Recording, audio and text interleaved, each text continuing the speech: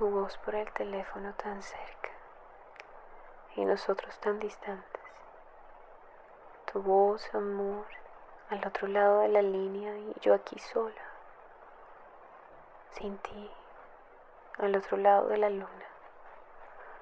Tu voz por el teléfono tan cerca, apaciguándome, y tan lejos tú de mí, tan lejos.